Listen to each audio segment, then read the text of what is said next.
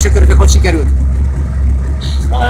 Egyik szemünk sír, a másik megáll, sajnos a három gyorsaságiból egyet tudtunk úgy teljesíteni, hogy szerettük volna. Az elsőt eltörölték, a másodikon félre kellett állnunk, azt hittük, hogy defektünk van, de hátsó fék befogott, mire rá, rájöttünk, hogy mi a probléma, 6 percet kaptunk. A harmadik gyorsaságit sikerült megnyerni, ami, ami véget nagyon boldogok vagyunk. Akkor tervek következő körre? Megyünk tovább, aztán majd valami lesz.